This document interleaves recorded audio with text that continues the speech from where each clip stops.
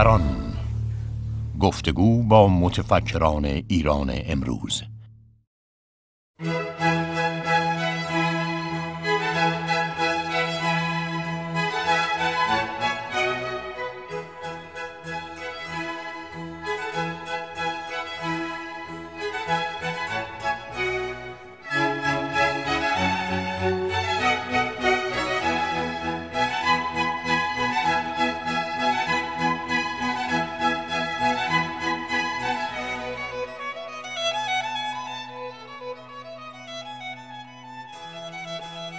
چرا فیلسوفانی که باید جامعه را بیدار کنند به خواب رفتند؟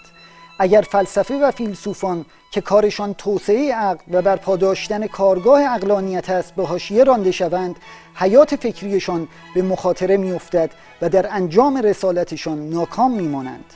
چگونه باید به این قفلت و غیبت پایان داد و فلاسفه را به صدر تاریخ و مرکز جامعه بازگرداند؟ دکتر کریم مشتهدی به این پرسش ها پاسخ می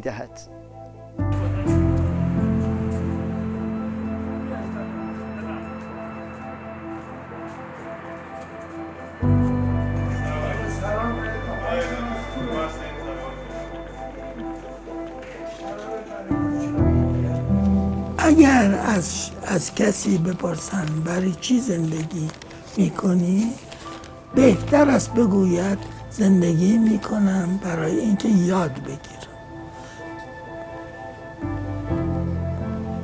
18 سالم بود رفتم به فرانسه. همه خانواده من خیلی از آینده من ناامید بود. گفتن در ایران تو بدون حمایت افراد با نفوذ هیچ کار نخواهید تونست این همون جد مرزا جواد مشتهدی باز مرزا جواد مشتهدی است که از حج برمیگرده. این ارکت این مسجد کبود تبریز. جمعیت به تماشا وایس این سردر خونه است که من متولد شد این هنوز هست. اطرافش خراب شد. یه نوع کنجکاوی در من بیدار شد. و اولین باری که اینو با خانواده در میان گذاشتم توبیخم کردن. یعنی خیلی براشون بد بود که یعنی چی؟ فلسفه معنی نداره برید بکن ولی من بالاخره خیلی استقامت کردم.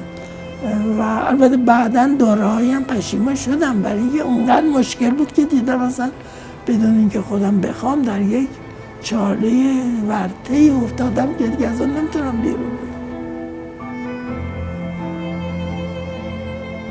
به دکتر مهدوی رئیس گروه فلسفه دانشگاه تهران تلفن کرد. باور نمی کرد که من اون امتحان عمومی رو گذرانده باشم. گفت شما اینجا یه سخنرانی برای ما بکنید تو کلاس. من ببینیم که چطوری هست. دیگه از همون هفته یه درسی به من گذاشتن درس عمومی.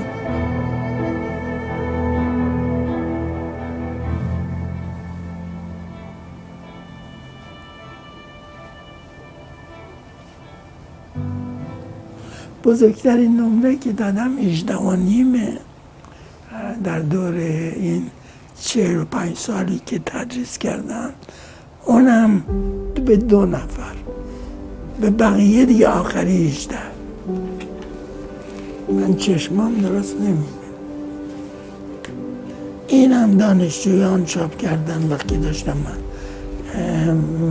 بازنشسته می شدم دانشگاه تهران. اینو چاپ کردن. این عنوانش قشنگ. در درد فلسفه درس یک عکسیست با هانری کوربان که استاد رسمی من نبود ولی در هر صورت باش کار کردم. وقتی که دکترامو می نوشتم ایشون ایران شناس بود. من مجبور شدم برم با او هم کار بکنم.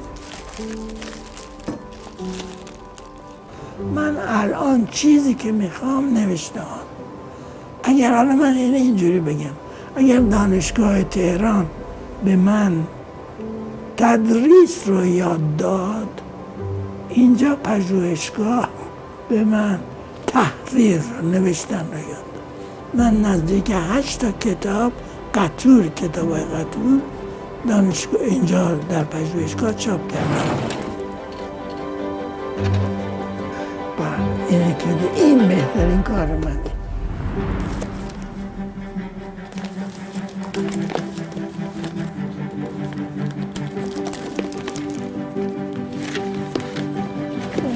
الان که دیگه گذشته و من بازنشسته شدم حتی خودم مایل نیستم درس بدم فقط کتاب می ولی جواب صادقانه من اینه که خوشحالم که فلسفه. یه عالمی به روی آدم باز میشه که حیفه که در این دوره که زندگی می‌کنه این حس نکرده البته میگم اگر قرار بود از نو بخونم جدیتر می‌خونم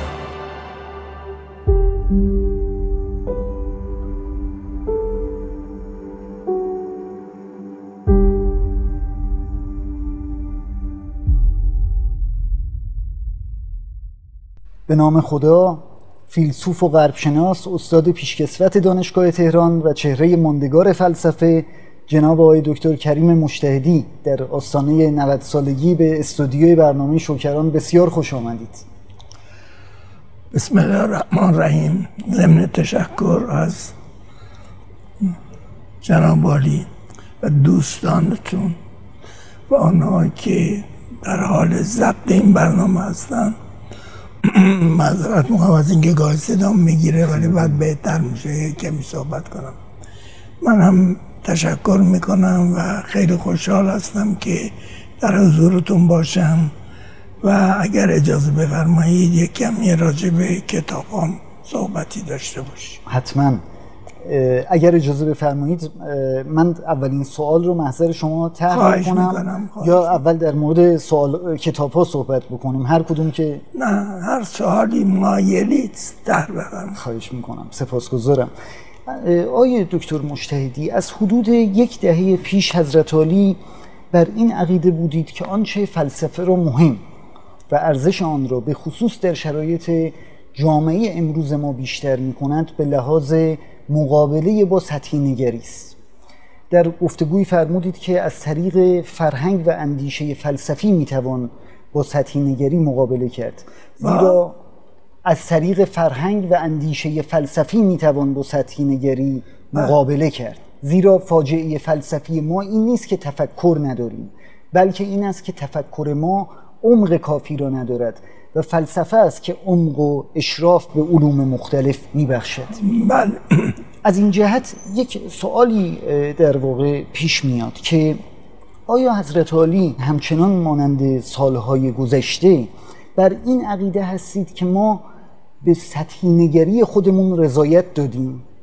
و اگر چنین است آیا باید گفت جامعه فکری ایران در توسعه عقل که کار فلسفه هست ناتوان شده است؟ من این اونطوری که میفرمایید سوالی که در فرمودید من یک کمی نوع دیگر این سوال رو می‌بینم به تنهایی. فلسفه در سنت های اسلامی میگه معقول ثانی. نمیگه معقول اول معقول ثانی. یعنی تفکر مضاعف. بله بله. یعنی تفکر مضاعف.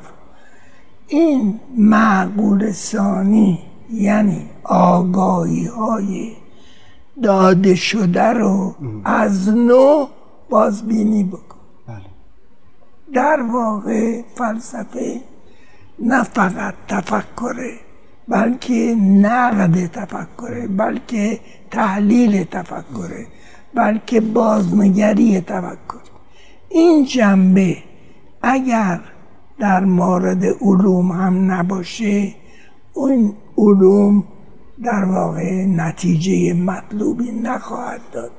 مثلا پزشک ما مذارت ما به ناچار تاجر خواهد شد. بله. نمی‌دونم کارمند اداری ما به ناچار جور دیگه خواهد بود. برای اینکه اون آگاهی و مسئولیت که به دنبال آگاهی میاد نخواهد داشت. اینو به نظر من به خصوص در دانشگاه از هر جای دیگر اهمیت فلسفه به چشم می‌خوره. اگر موقعش رسید و لازم دونستید راجع به این موضوع هم صحبت خواهم کرد. و بنابراین فلسفه چون در دستگاه فکری شما اینگونه تعبیر میشه که فلسفه آینده است. کاملا درست. یعنی بازنگری می‌کنید برای اینکه آینده رو بسازید. جور دیگه هم اگر بخوام بگم امکانات رو جستجو می‌کنید که بر اساس اون امکانات آینده معقول رو بنیان نهید. جستجوی امکانات بر اساس اون آینده که بنیان میاد و بر این مبنایی که فرمودید فلسفه یک تفکر برای بحران هم در واقع می‌تواند تلقی شود و ببینیم که بحران اغلب موجود. تعمل درباره بحران مهم. ولی بحران اغلب موجوده. ممکنه بحران اقتصادی باشه بحران سیاسی باشه از همه خطرناکتر بحران فرنگی باشه. ولی فیلسوف این سعی رو می‌کنه من نمی‌خوام بگم حتما به نتیجه می‌رسه ولی نفس این سعی و نفس این کوشش در جامعه نوعی آگاهی نوعی حتی میگم آگاهی که منجر به امید میشه. یعنی یه نوع امیدی رو به وجود میاره. یعنی آینده رو می‌خواد نوع دیگر بسازه یا نوع دیگر ببینه. به خصوص در دانشگاه من به نظرم می‌رسه که دانشگاه سه وظیفه هستید یکی آموزش یکی پژوهشه اون وظیفه سومش انکاس دادن نتایج این آموزش و این پژوهش در جامعه است در خارج از خودش. مثلا همین کتاب ها همین نوع انکاس بله. انکاس تعلیمات دانشگاهی امکانات که وجود داشته در کل جامعه است. و کتاب اصلا پیامه پیام می‌تونه باشه. و به خصوص کتاب فلسفی پیامی است که می‌خواد به اصطلاح تفکر ایجاد بکن و به اصطلاح شخص رو به تحمل با بداریم اینه. و این فلسفه با این مختصاتی که تعریف فرمودید یکی از کارهای اصلیش رو ما توسعه عقل و کوشش برای حل مسائل. توسعه عقل. باید دربارهش کمی تحمل بکنیم. اینجا منظور عقل سوری نیست. بله. عقل سوری نیست که مثلا ما بگیم که فقط اون که در ظاهر صورت بیان مطالب دیده میشه. جای خودش. اینجا یه, یه عقلی است که گویی خودش داره جستجو می‌کنه. می‌خواهد خودش رو بسازه. و عقل هم معناش در تاریخ بشری تا حدود عوض شده. بله. مثلا از این نیست اگر اجازه بفرمایید بله. من بگم که در فرق تقبول در قرون وسطا با قرون جدید البته در بیشتر در غرب در قرون وسطا اقربه ذهنی انسان میان ایمان و عقل در نوسان بله. مثلا در کلام چه اسلامی چه کلام مسیحی بله. فرض کنید که یه نظریه ای کلامی بیشتر می‌تونه مربوط باشه به وحی یا تا حدودی مربوط باشه به وحی یا عقل در هر صورت میان این دوتا در نوسان. در عصر جدید عقلی که بخواد حاکم بشه از قرن 16 میلادی در غرب این در واقع به این صورت عقل اغربه عقل انسان نوسان پیدا می‌کنه. بین علوم داده های جدید علمی تجربه. تجربی و غیر عقلی فرق نمی‌کنه مثلا ریاضی و سنت کلامی یعنی اونجایی که فقط تقابل میان وحی و عقل بود حالا میشه تقابل میان سنت کلام و علم جدید. بله. و بحران هم ایجاد که از دوره فرانسیس بیکن شروع میشه و می‌تونیم کاملا دوره فرانسیس بیکن و به معنای دیگر دوره دکارت بله. که مهمتره. بله. به این موضوع اتفاقا در یکی از بحث ها خواهم پرداخت. منتها اگر به سوال اول برگردیم که در هر صورت بشه یک پاسخی بهش داد مبتنی بر مسائل امروز ما آیا همچنان قائل هستید که ما در جامعه خودمون نتوانستیم از فلسفه برای مقابله با سطحی نگری به این معنا استفاده بکنیم یا نه فلسفه توانسته در جامعه امروز کمک کنه به حل ما مسائل در ما سنت خودمون فلسفه نقش بزرگی داشته سهم بزرگی داشته. اون چه که الان رخ داده عصر جدید و عصر معاصر. عصر معاصر ما علاوه بر فلسفه خودمون که از لحاظی قابل قبوله فلسفه هایی داریم که متکی به علوم جدیدن در غرب. اینجا اشکال اینجاست. میان این دوتاست. یعنی این بحران تقابل میان سنت فکری اسلامی خود ماست با فلسفه هایی که دم از علوم جدید میزن و بعد رونسانس و بعد از. بیشتر بعد از تجدید حیات فرهنگی شده. اینه اینجا به نظر من تنها راهی که آینده ساز می‌تونه باشه شناخت هر دوتاش یعنی شما در این حالی که فرض بفرمایید سنت رو می‌شناسیم تجدد رو هم آه، بشناس این.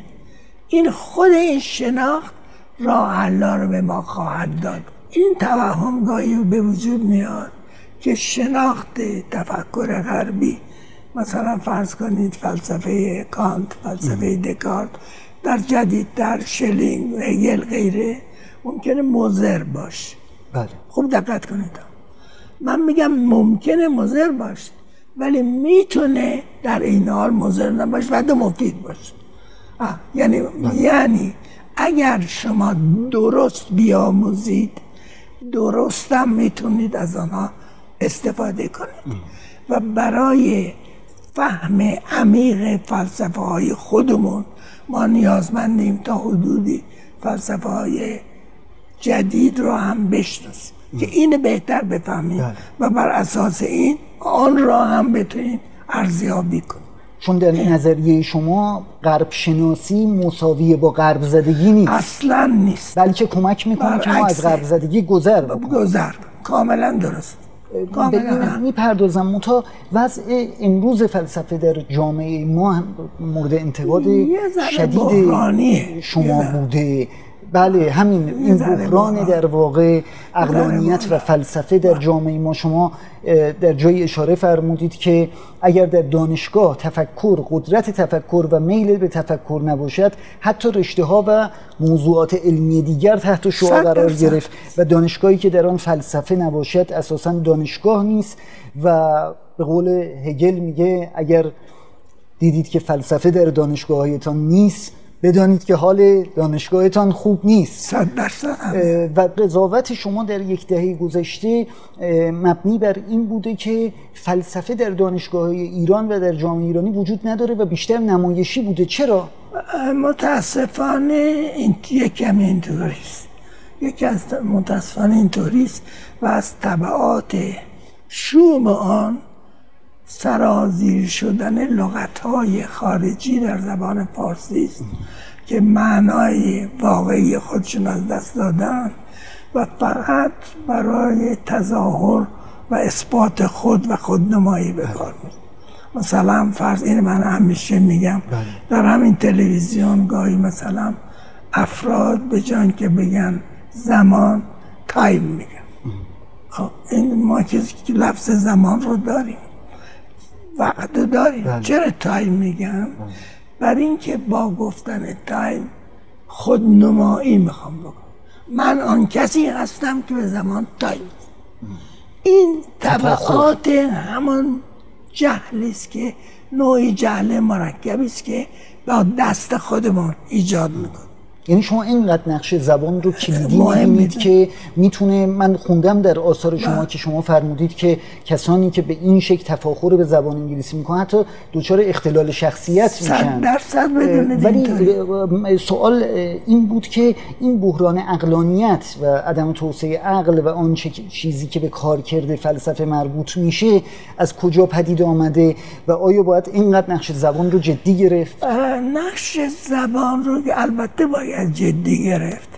ولی موقعی جدیتر میشه که ما زباندانی رو با تظاهر به زبان اشتباه می‌کنیم به نظر من هر جوانی که تحصیل می‌کنه خب خوبه که یه زبان یاد بگیره زبان خارجی ولی این فرق می‌کنه با اینکه بدون اینکه زبان یاد بگیره مفردات زبان انگلیسی یا فرانسه یا آلمانی رو به کار ببر.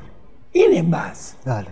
ولی من نمیگم در برنامه ها البته در کودکستان ها که زبان انگلیسی درس میدن کار درستی نیست. اونجا خودش. و نقش عوامل دیگر رو در عدم توسعه اقلانیت و فلسفه چه می‌بینید؟ گاهی گاهی معنای لغات کلیدی عوض میشه. بله. دگردیسی حالا یه مثال می‌زنم می‌بینید یکی از استادای فلسفه به من می‌گفت که در یک دانشگاه راجب نیوتون صحبت می‌کنه فیزیک نیوتون در افکار کانت تاثیر کرده در قرن 18 در ذهن تمام متفکران منور الفکر قرن 18 تاثیر کرد. میگه یه دانشجو بلند شد گفت ما از شما علم می‌خوایم چرا به ما نیوتن میگه یعنی مفهوم علم رو گم کرده. مثلا نمی‌دونه که مبانی نظریه کانت بر اساس اعلامیه علم جدید نیوتن هست. نیوتنه. اصلا- نیوتونه اون وقت این این بده. بله.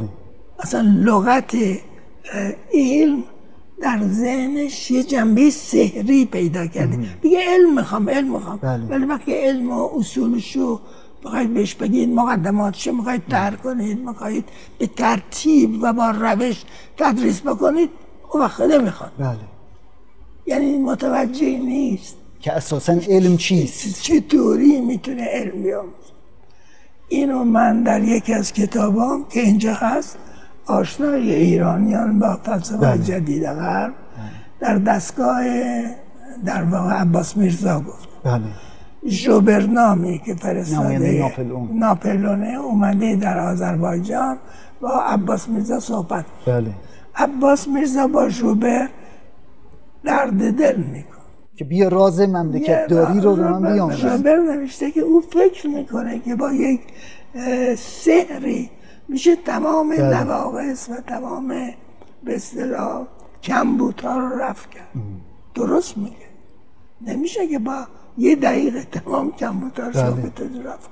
این حالت و این عجله در ایران هست پیدا شد در تاریخ یعنی عجله برای این مهمتره یه عرض دیگری دارم سرما یا ملکم ملکم انگلیسی. بله. در تاریخ ایران که نوشته میگه در اصفهان رفته به اصطلاح توپ ریزی ها رو نگاه گفته چرا این دوله های توپ همش کج کوله است؟ شما مگه کار نمی‌کنید میگه ما تقصیر نداریم. این صاحبان مملکت. میگم زود باش. امروز دستور میدم مثلا فردا توپ از ما می‌خواد نه نمیشه. یه روزه. یه روزه. این تعجیل در کار خودش یه جور جهل مرکب یعنی تعجیل در تفکر ایرانی یک خصلت تاریخی تبدیل شده. نمی‌کنه. بله. کاملا من اینطور فکر می‌کنم.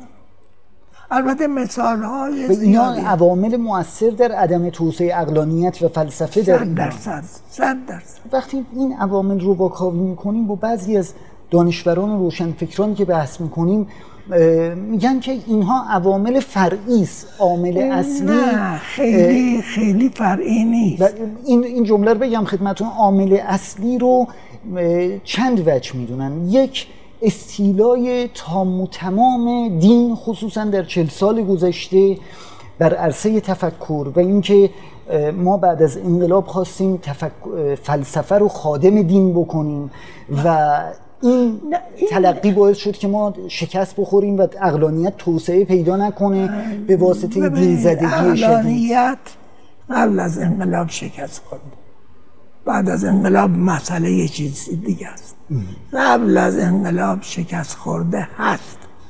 وقتی که غرب حجوم بیاره و در ایران پیدا میشه طبعاتش پیدا میشه از اونجا دیده میشه. حالا در اون چی که اخیرا میگذره این اتفاقا یه جنبه سیاسی داره. اینجا قابل توجیهه.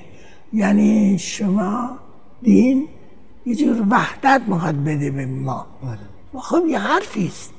و بالاخره یه, یه, یه نحوی باید با هم با هم متکی باشیم و هم در به اصطلاح یه وحدتی به وجود بیاوریم. این وحدت کلمه ممکنه منجر بشه به وحدت به یه قدرت. بله. این بحث عوض شده. یعنی این اشکال رو شما رد این یه بحث دیگه است. این هم باید بعدا تحلیل کرد به نظر من.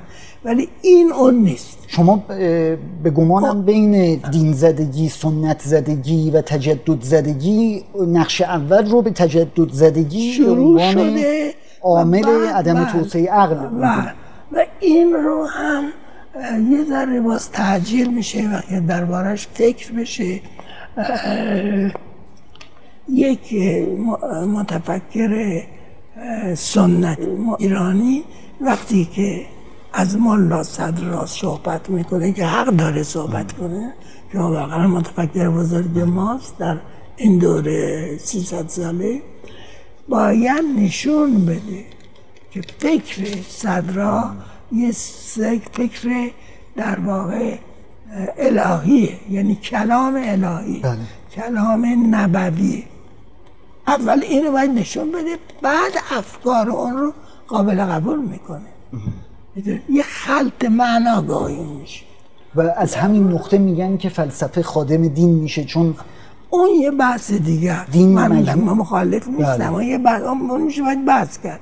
ولی با اون بحثی که در اواخر دوره قاجار شده و حکومت های بعدی که بوده یه جور حالا من قلب زدگی نمیگم ولی یه جور میگم تعجیله یه جور گم کردن راه درسته. بله.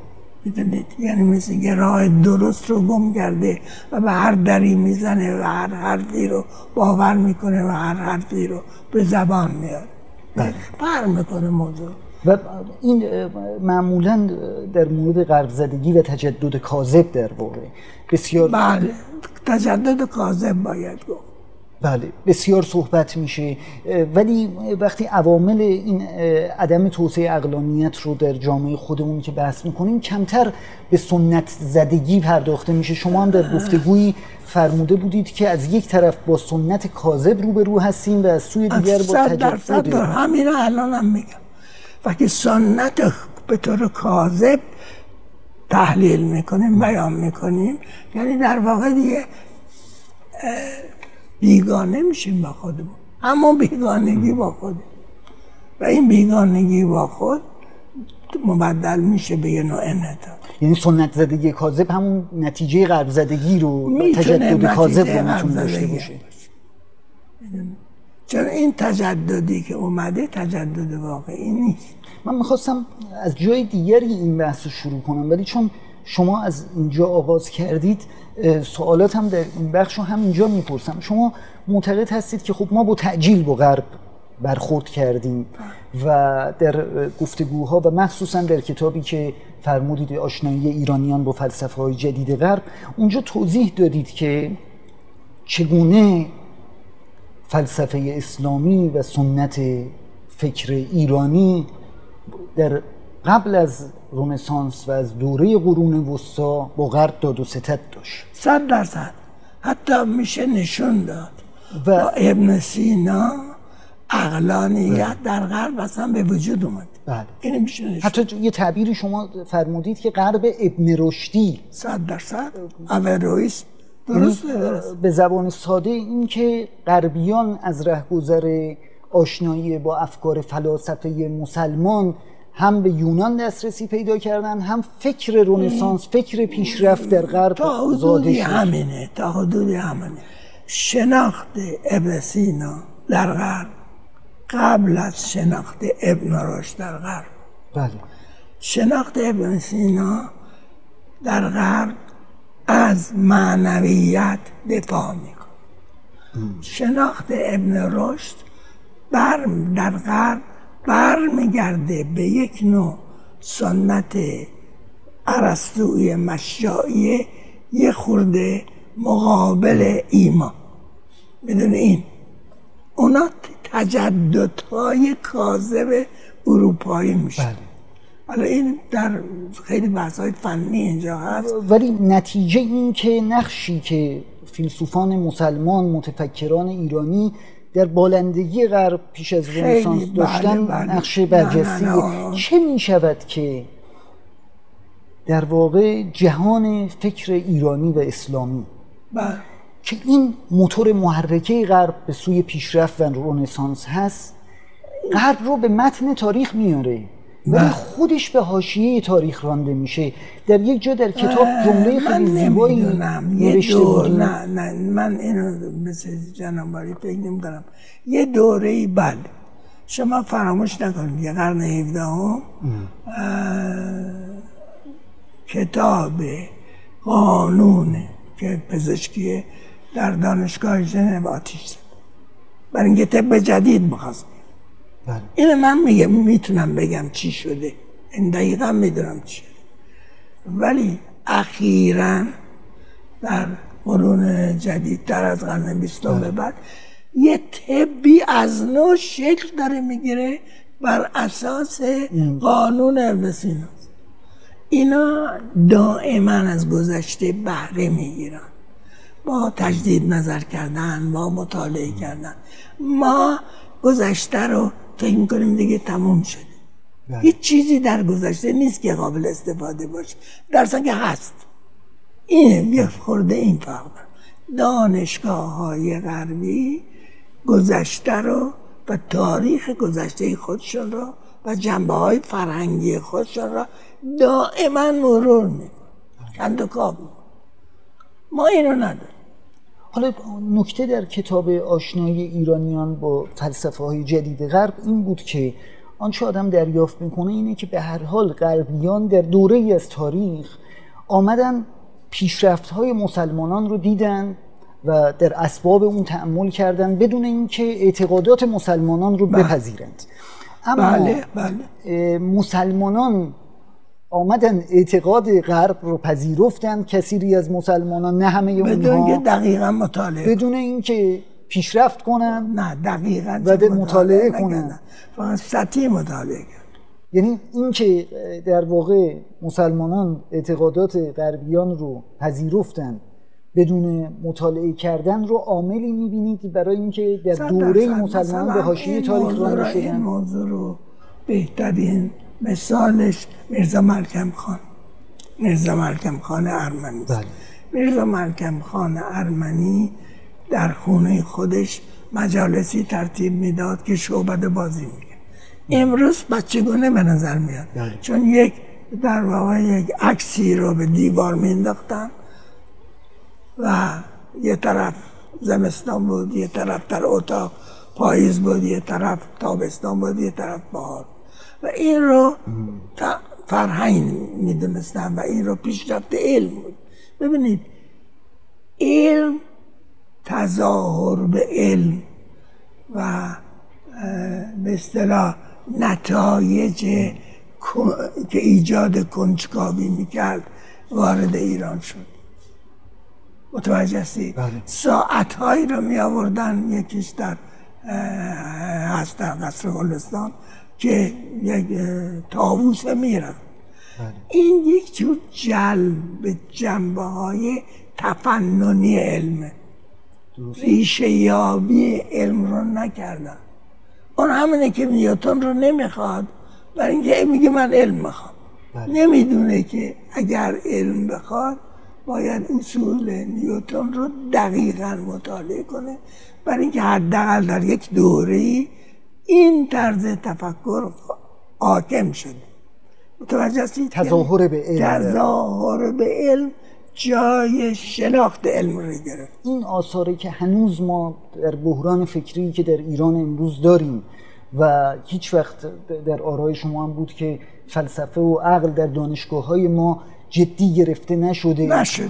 و نهادها و مراکز فرهنگی ما اصلا از معنای فلسفه غافل هستن. اه، ما داریم همچنان با اون ریشه ها دست و پنجه نرم می‌کنیم. خب نتیجه اوناست و جلوگیری درستی نشده. اینا باید به با تعنی و عجولان هم نمیشه؟ با تعنی باید بحثایی بکنن اجازه بدن بحثایی بکنن. هر کسی بیاد در یک نوع اختراعی نظرات خودش رو بگه. یه ذره از تعجیل خودداری کنیم عجولانه قضاوت نکنیم. خب بیش از یک قرن به هم ریخته. گذشته از این برخورد مدرنیزم و تجدد با ایران. من یه مطلبی رو در یکی از کتابهای شما میخوندم در کتاب مغول و بله اینجاست.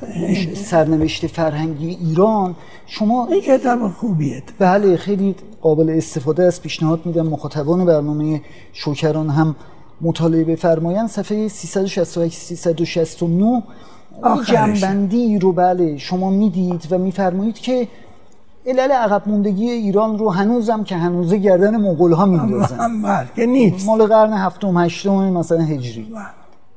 و حتی شما فرمودید که مثال زدید فرمودید که ما همین جنگ جهانی دوم رو پیش رو داشتیم که کشورهایی بودن با خاک یکسان شدن ظرف ده 15 صد سال. خودشون رو بازسازی کردن نمونهش هم آلمان. من می‌خوام بگم همین تحلیل در شما علم ما پیشرفته در این کشور اروپاست. بله. چی این آلمان بهترین مثال؟ می‌خوام بگم همین تحلیل شما در کتاب مغولان و سرنوشت فرهنگ ایران این گزاره‌ای که الان در مورد تجدد فرمودید و ریشای عقب ماندگی رو نقض نمی‌کنه ما بیش از یک قرن. پیش یک برخوردی با مدرنیسم پیدا کردیم. و بله. همچنان هم در تحلیلش عقب ماندگی خودمون رو به گردن تجدد میندازیم. این غلطه دیگه. این غلطه. تجدد ما درست نیست. تجدد ما کاذبه. بله. و این تجدد کاذب اگر رفت نشه اگر معنا نشه اگر علم فهمیده نشه روح علم همینطور خواهد بود. یعنی قرضم از شاهد مثال یعنی یعنی, یعنی گاهی که به من میگن شما وقتی که این همه از فلسفه طرفداری می‌کنید مانع از رشد علم میشید من دارم از فلسفه طرفداری می‌کنم به که عنوان جامعه جامعه که, علم جامع و علمای جزئی رشد پیدا کنه. بله. و این ببینید یه سوء تفاهمه و اینو باید با تعنی با حوصله و در از طریق رسانه های عمومی تحلیل کرد نظرهای مختلف رو دید. خودنمایی ها رو کنار باید بگذاریم. همینطوری خیال نکنیم با معرفی خود و نشان دادن خود به جای میشه رسید. بودینم به اسم دانش خودپرستی می‌کنیم در ایران هم یه خورده این. همین. یه ذره این. حالا هم به اسم دانش و از آن بدتر به اسم هنر. یارو گفتم میاد جلوی اثر هنریش باید میسه که خودشو ببینم تابلوی نقاشیش پشت سر. بله. اما همینه. خیلی درسته. بله. و اینجاست که شما برای فلسفه نقش اصلاحگر قائلید در آگاه کننده اصلاح کرد نمی‌تونم.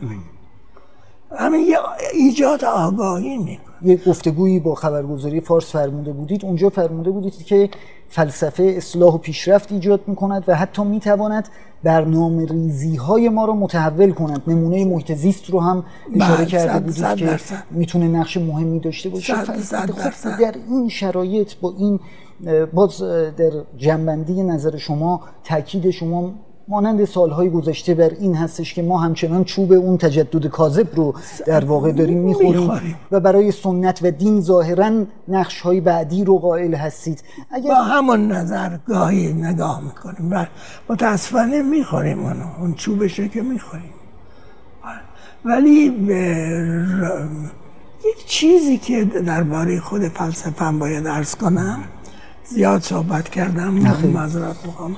استفاده اینه می‌کنم که مردم جوانهایی من شناختم که در واقع تصور می‌کنن خودشون تفکر دار. و دخترها و پسرهایی به من رجوع کردن آقا ما خودمون که فکر داریم چی چی میگه یه فلسفه بخون. متوجه هستید؟ و درست برعکس فلسفه آموختنی است. اتفاقا باید خوند. خیلی دقیق بکنه اون چه که خیال می‌کنه بلده بازتاب های شرطیشه. مثلا فرض کنید گرست نشه حس می‌کنه خب گرست نشه. اینا همون که معقول اولن. اینا هیچ کدومشون اون معقول ثانی نیستن. متوجه هستید؟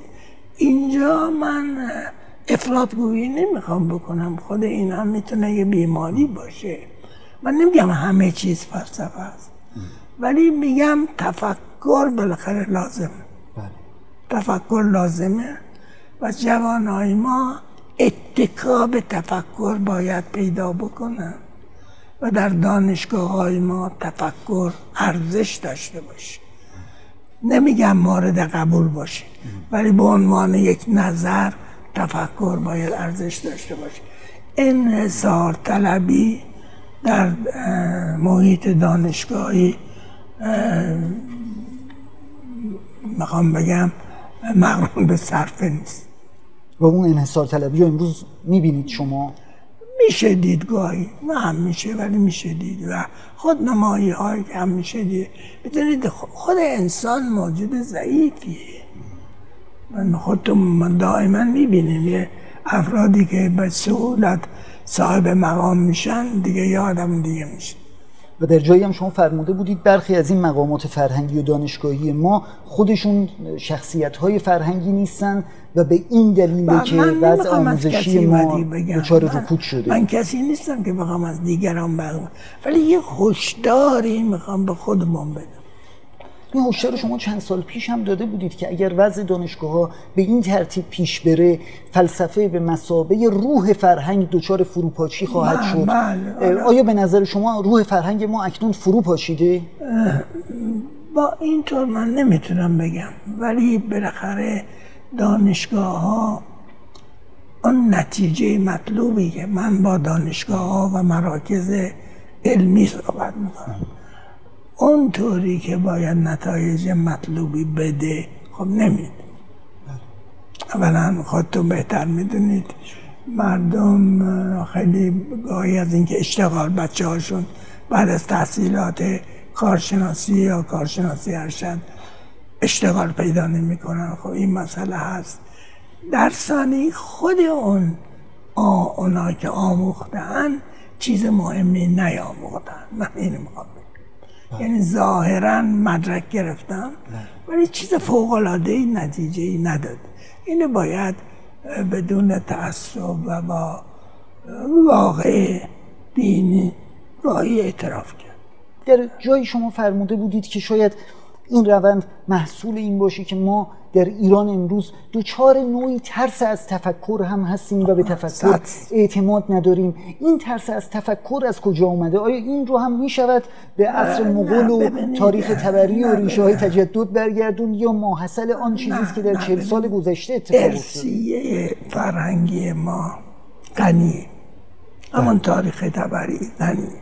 اون تاریخ بیقی مهمه همین نمی‌دونم تاریخ ایلخانی غیر مهمه اون به هم حرفی ندارم ولی این ارسیه رو درست بهره برداری باید کرد. نه ترس از تفکر رو از کجا من بگم. درست بگم. حالا یکیش اون چیزی که از خارج تاثیر می‌ذاره میاد به کمک سهلنگاری که از درون جوان گرفتارش شده ولی در عین حال اگر یک قومی نگران آیندشه به مرور به اون جوان باید تبتیم بکنه. که آینده اون منوط به رشد و بالندگی عموم. یه همچی چیزیست من قبول می‌کنم که یه جور گرفتاری های دائمی وجود داره. این باید قبول کرد.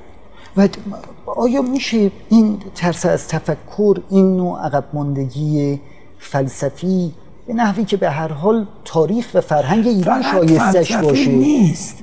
وقتی عقب ماندگی فلسفی ایجاد میشه به فکری بگید. فکری به یک ویرانی اجتماعی نمی‌تونه ختم بشه در طول مسیری که ما در پیش رو داریم؟ نگران. نیستید؟ این هشدار رو نمی‌دید که این عقب ماندگی فکری امکان داره شالوده های هویتی ما رو سست. کنه؟ ولی عوامل خیلی زیادی هست. همشو باید در نظر گرفت. فقط این نیست. هم- خود این نتیجه عوامل دیگری هم هست. سرنوشت علوم انسانی مجزا سرنوشت علوم تجربی نیست. هر دوتا یه سرنوشت همه علوم با هم. همه علوم با همه. آه، یعنی اگر یکی شکست بخوره دیگری هم شکست و می‌خوره یکی نامفهوم بشه اون دیگری هم یعنی نامفهوم شده. اینجوری میگم. بله. یعنی همون سطحی نگری که در فیزیک هست به عینه در جامعه شناسی روانشناسی هم سرایت می‌کنه. اینجوری.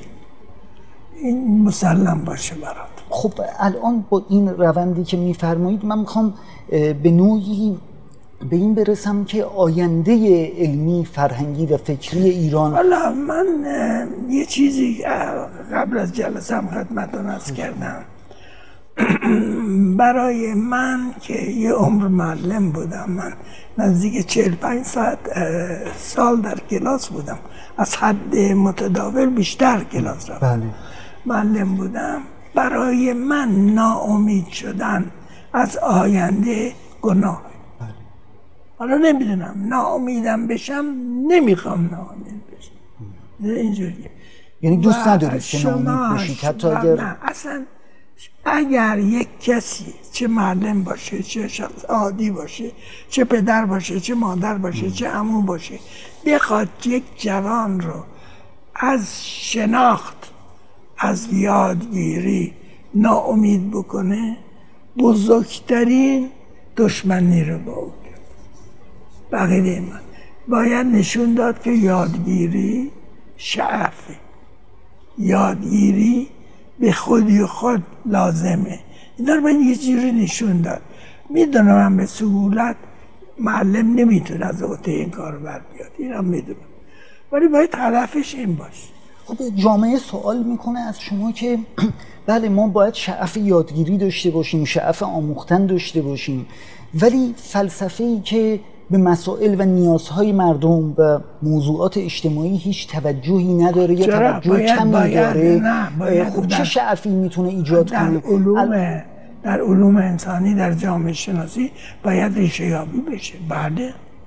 یعنی ما این- دیگه مقصر برنامه مقصر برنامه ها و استادا باید دانست. بله. یعنی اینجا تقصیر و قصور متفکران رو در واقع آیا میشه بهش نه. پرداخت؟ ببینید وقتی جامعه با فلسفه و فکر و فرهنگ روبرو میشه ولی خب این فلسفه برای عدالت برای نابری های اجتماعی برای تبعیض برای این فقر فزاینده بله. هیچ حرف و سخنی نه همین فلسفه اسلامی چقدر مثلا به عدالت پرداخته عدالتی که من عدالت پرداخته در آرای شما می‌دیدم عدالت به عنوان فضیلت ذاتی اصلا، صد درصد، نام بردید شما. ولی ما وقتی صحبت از فلسفه می‌کنیم و صحبت از فکر می‌کنیم مردم که این گفتگوها رو گوش می‌کنن می‌بینن که تنینی از مسائل اصلی خودشون در این گفتمان. نیست و چه شعفی نشون بدن؟ سوال اینجاست. نه می- می‌فهمم. ببینید مردم اسیر افکار خودشون است میگه عدالت نیست. یه معلم روانشناسی جامعه شناسی نمی‌تونه اینو تحلیل کنه. اون ما تقدم انکار کرد. ببینید کار مشکل شده. اون معلم فقط می‌تونه کوشش کنه جنبه های به وجود اومدن این امر دور از عدل رو نشون همین. می‌دونید این رو باید بکنه حتی اگر نتیجه نمی‌تونه آنی بگیره. اینه. والا من معلم هیچگاه هیچ معلمی در دنیا به تنهایی نمی‌تونه مسائل روزمره جوانها رو و مردم رو به طور کلی در کوتاه مدت حل کنه. این یه توهم. بحث کوتاه مدت و دراز مدت البته نیست. بحث اینه که در یک روند انگار ما دچار یک گسستی بین فلسفه و جامعه شدیم. آیا این رو قبول دارید یا نه؟ فقط گفتم فقط فلسفه نیست. علوم دیگر. حالا چون تخصص شما فلسفه هست من از این باب سوال می‌کنم. اینو می‌خوام بگم که این گسست به خصوص در مسائل دیگر هم هست. شاید در فلسفه از قدیم از زمان سقراط بله. این گسست طبیعی تره تا در چیزهای دیگه. ولی در چیزهای دیگر هم هست. بله. حالا اگر در موضوع خود فلسفه که در واقع دانش تخصصی شماست ارزیابی بخواید بفرمایید. فیلسوف واقعی هیچ وقت بهترین مثالش سقراط. بله. نباید این انتظار رو داشته باشه که شنونده داشته باشه و طالب باشه چون فیلسوف فراموش نکنید که فیلسوف مثل سقراط بهش می‌گفتن خرمگس یعنی ما رو نیش می‌زنن. این می‌رفت راجع را به سراغ مردم که باشون صحبت کنه. اونا هیچ کدوم مایل نبودن با اون صحبت. بله. این خودش خیلی خوب نشون میده موقعیت یک کمی دوش خیلی دشواره. این موقعیت ما الان موقعیت سقراطی نه یه فرقی با سقراط داره. سقراط شخص خودش مواجه می‌شد. الان شما کتاب می نویسید مقاله می نویسید کتابتون مقالتون با اشخاص مواجه میشید یعنی این سهولت بیشتر برای ما هست تا برای سقراط. و سقراط سر همین موضوع. جام شوکران رو روشید بله. سوال آخر بله. برنامه هست از شما.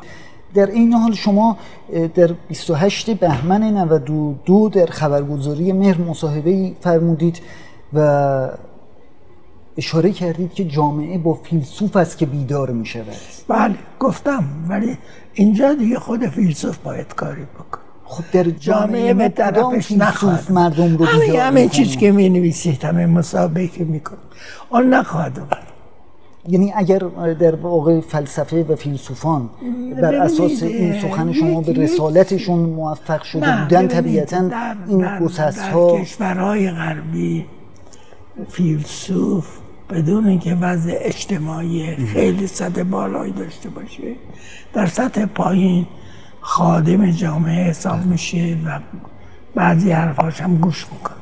بعدم انتقادش هم می‌کنه. که خیلی سالمه. این هم گوش می‌کنن هم انتقاد می‌کنن هم در ایران البته اینجوری نیست.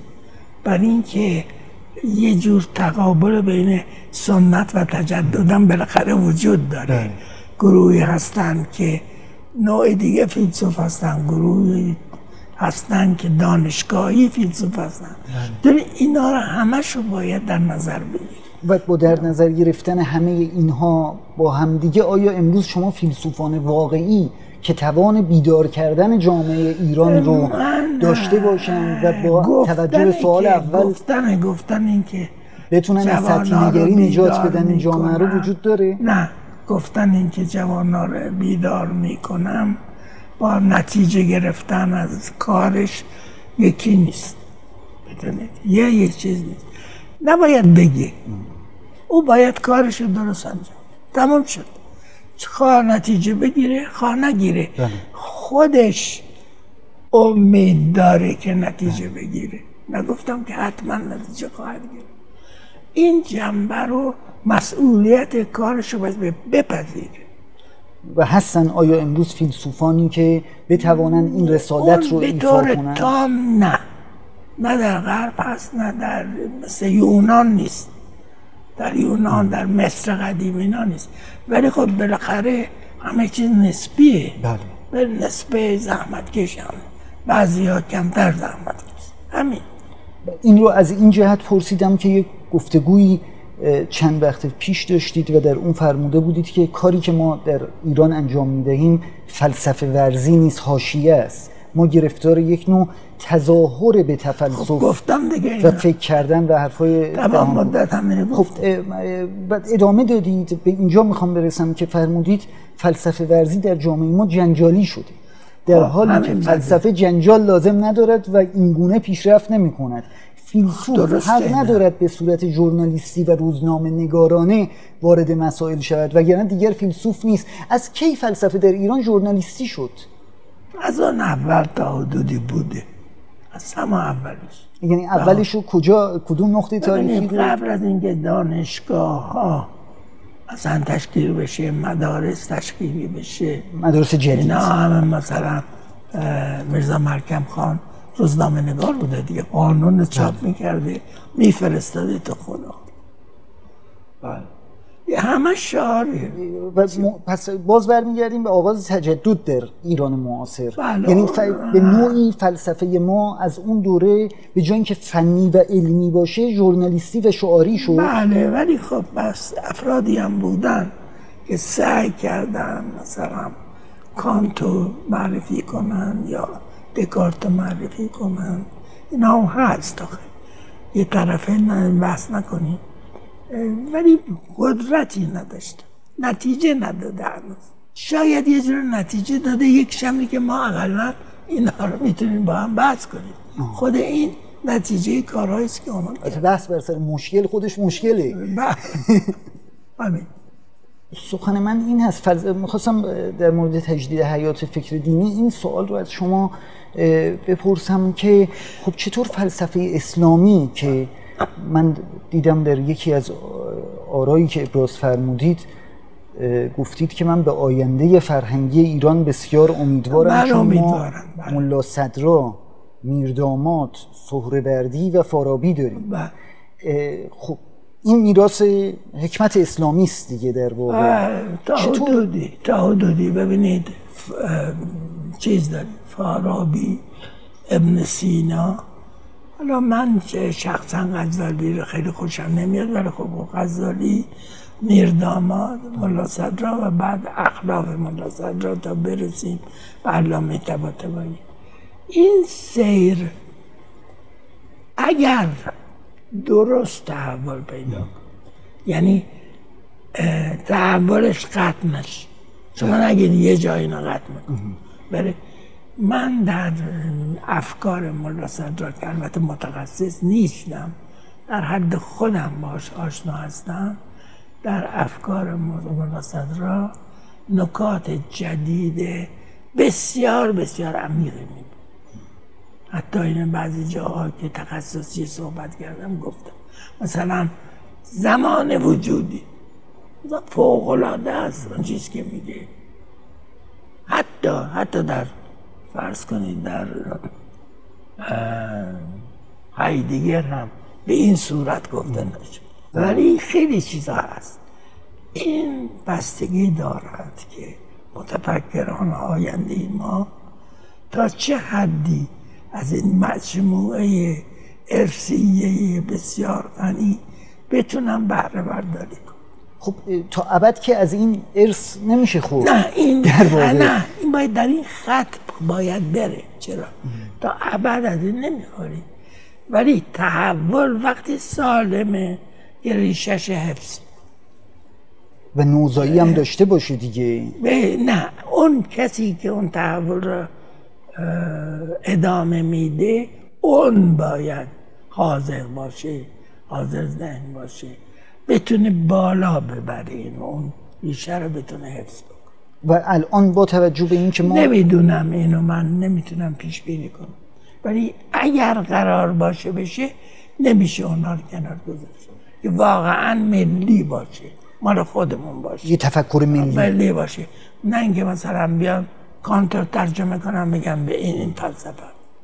نه این یه خود فرق داره با اتفاقا چون از کانت مثال زدید بعضی ها میگن ما در دوره نازایی فکر ایرانی قرار داریم علا رغم این که این میراث گسترده فلسفه اسلامی رو داریم و آیا اسلام و ایران یک کانت جدید نیاز نداره که در این سنت فکری یه راه نو بتونه باز کنه؟ کانت دست پرورده دوره منور الفکری است. اصلا خودش منور الفکری است و این دست پرورده منور الفکریه و دنبال روی همین جان لاک هیو به یه معنایی و به اصطلاح فلاسفه آلمان هم هست چرا؟ یه چیزایی هم از فلسفه آلمان. کانت بیشتر سنت انگلیسیه. میگ- اه، ببینید. نه از جهت این کانت- گفتم که میگن کانت یک راه جدید در سنت فکر غرب باز کرد. اسلام و ایران هم می‌خواد یک کانتی که در این مسیر داده. مطابق سنت خودش عصر جدید اه، اون چه که رخ داده بعد از قاجار یک گسستی هست بعد از قاجار بعد از قاجار دیگه نبوده. یه چهل پنجاه. بعدا چند نفر دوباره اون خواستن احیا. اینجوری مثل مثلا فرض کنید علامه طباطبایی یا فرض کنید متحری و. من خیلی تخصص ندارم ولی این چیزهاییست که شنیدم و تکرار می‌کنم. من البته انتظار داشتم یه داوری سرراستر و سریحتری نسبت به وضع فکری و وضع فلسفی در ایران شما بفرمایید یکم. محافظه کارانه ظاهر شدید امروز نمی‌دونم چرا نه نه اون اه، صراحت رو چون در گفتگوهای شما که در واقع یادداشت برداری می‌کردم و میخوندم در حوزه های مختلف شما هشدارهای بسیار سریحی داده بودید و در یکی از آخرین گفتگوهاتون هم فرموده بودید که اگر اوضاع فرهنگی و فکری ایران به همین ترتیب پیش رود من امیدی رو به آینده فرهنگی این کشور ندارم و باید اصلاحات جدی نه، گوش صورت بدید. بگیره. نه گوش بدید اولا که میگم این امید یه خود ارادی. درسته. گفتم اینو که یه خود ارادی. باید امیدوار بود. این خیلی فرق می‌کنه. یعنی دست خود ما نیست. آه آه خیلی یعنی نه. یعنی غیر ارادی است یکم. نیست. با وظیفه است. تموم شد. امید برای ما وظیفه است. امید جبر حاکم بر ماست. بابا نه. برای چه. بخوایم که نخوایم باید امیدوار باشیم. آه آه آه. یه وظیفه است. یه وظیفه است. برای ناامیدی اگر انکاس بدید به جوانا اصلا مطلوب این باعث نمیشه که داوری های ما از آنچه که نه، واقعیت هست منحرف بشه. امید کاذب. خودش مثل تجدد. کاذب یک زهر برای جامعه فکری نیست. می‌دونم. تا یه حدودی می‌دونم این امیدی که من میگم یه خود باید توضیح بدم.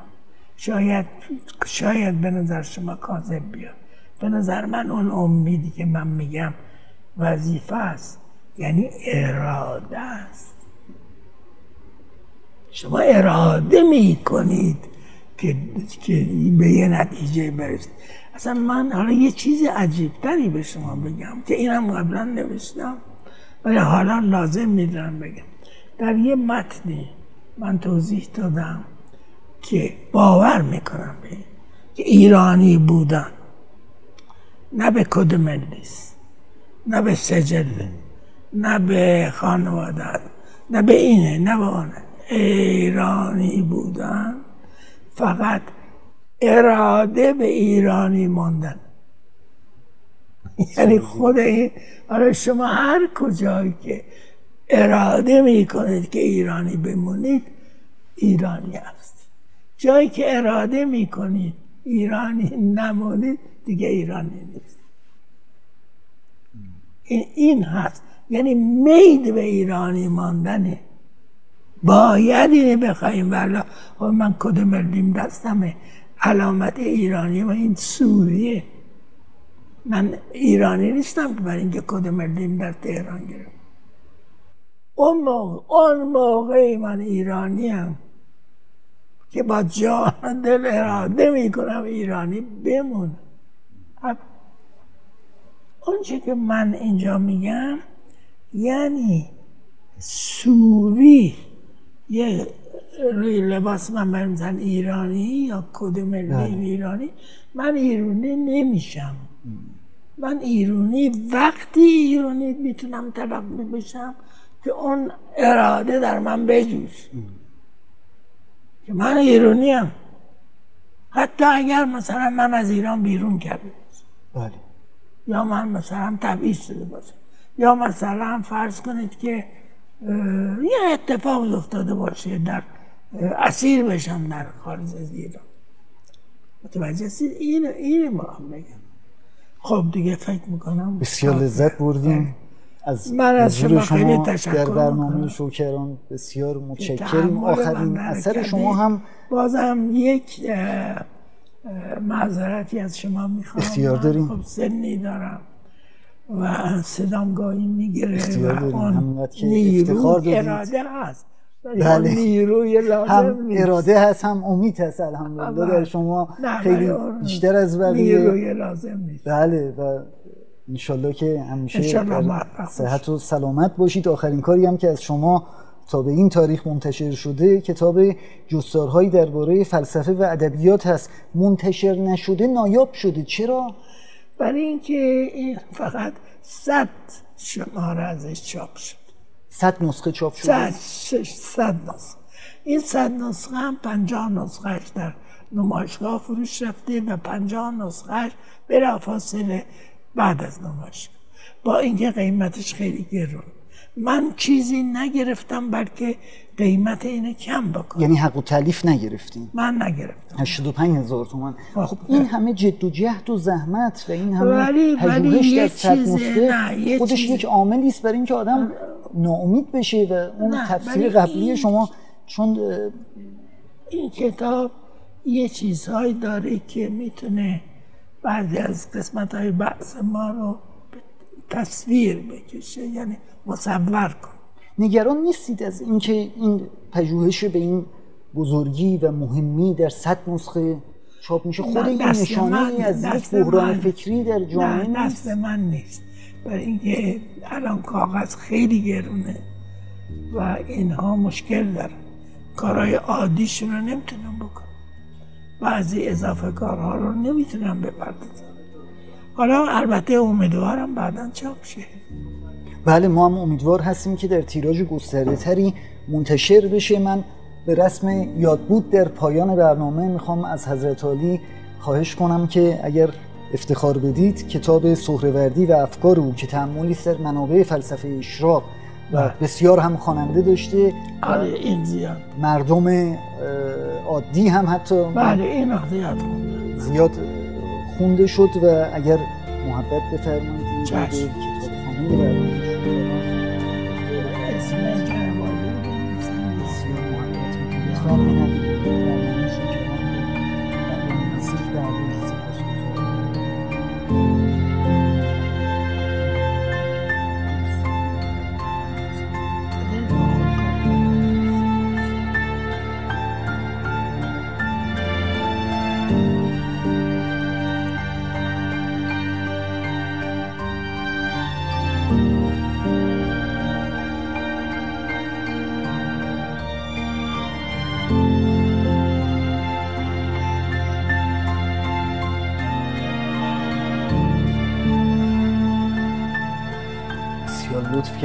چشمم درست نمی‌دید تاریخ خیلی لطف کردید که دست شما درد نکنه چیز نشه. آقای دکتر به عنوان سوال آخر چون صحبت از سقراط و وضعیت سقراطی در این گفتگو نیست شد آیا اگر روزی مقدر بشه که برای آرمانها و عقایدتون جام شوکران رو بنوشید آیا چنین خواهید کرد؟ جام شوکران اتفاقا سوال خیلی جالب توجهی است که من هیچ وقت سوال از خودم نکردم. جام شوکران به نظر من یه جنبه نمادین داره. شما ممکنه جام شوکران را عملا ننوشید ولی هر لحظه این مسئولیت رو قبول بکنید که برای گفتن سخنتون به خطر رو به خطر می توانید بکنید. تا یه حدودی می فکر می‌کنم کردم این کار. تمام این که میگید شما ملاحظه کارید که من ملاحظه کارم هستم. برای اینکه من هم ادامه بدم به کارم. ولی در این حال شهامت دارم. به سبک خودم یه نوعی فکر می‌کنم شهامتی داشته باشم. جام شوکران شهامت. نماد شهامت. البته در سقراط چیز دیگه هم میگه. احترام به قانون. من اینو نمیگم. احترام به قانون. من احترام به قانون. اگر قانون رو قبول نداشته باشم احترام نمی‌ذارم. ولی اینجا من بر من شوکران در درجه اول شهامت.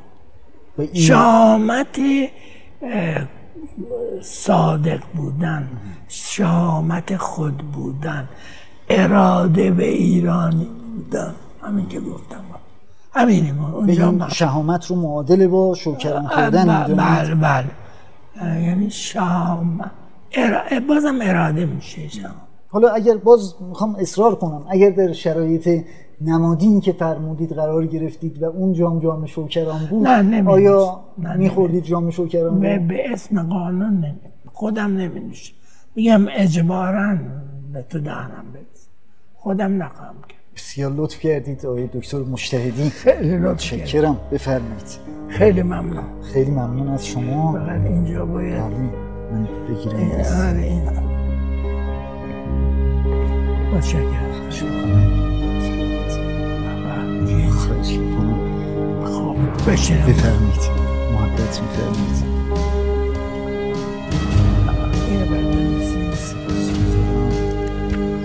چی بنویسم؟ هر آنچه که نمیفرمایید همش اراده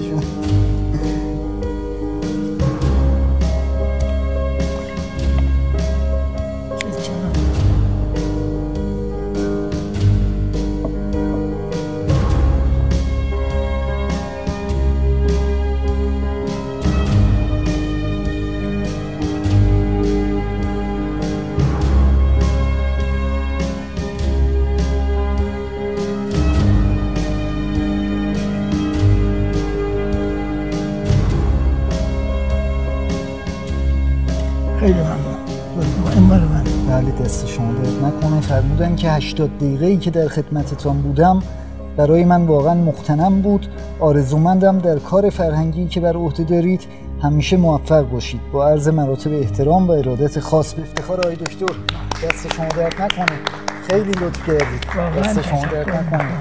متشکر از شما. آقا ما یه دانشجوی بسیار ساده هستیم و همینقدر که خواستید با بنده آشنا بشید و خدمتی براتون بتوانم بکنم از شما ممنون.